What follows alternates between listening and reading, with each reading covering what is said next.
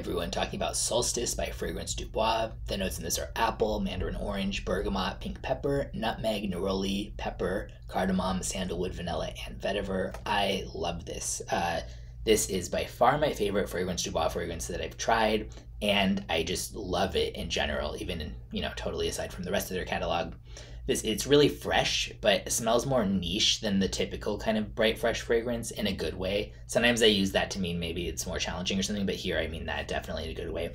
There's a uniqueness to it. Like it has a slight edge but not a rough edge at all. Just like enough of some kind of grounding notes with a sort of spice vetiver uh, yeah, and stuff like that to make it so that it's not just like floating around bright freshness, which I like that style too, but it's interesting to see them kind of play off each other here.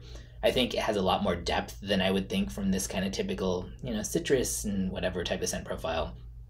Very intriguing smell, and I think it's classy but not dated, not stuffy. So the very versatile would work for a pretty big variety of situations, from like you know casual hangouts to like totally formal event. It also still totally has mass appeal.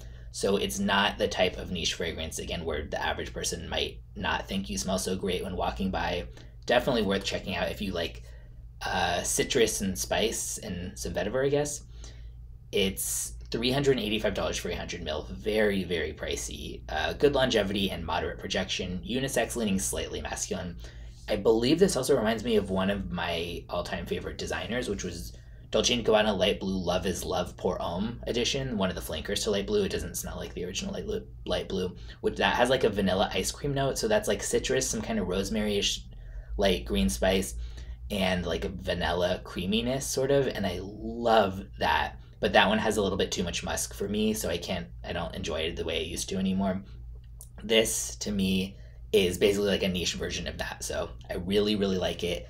Definitely uh, recommend checking out a sample. If the notes sound up your alley and i'll link in the description where you can get a bottle or sample